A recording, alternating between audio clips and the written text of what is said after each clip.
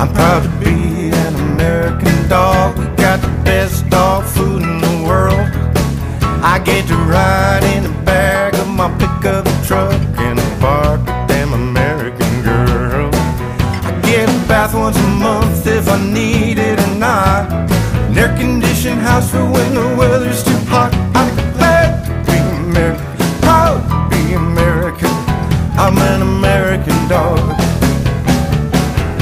proud to be an American.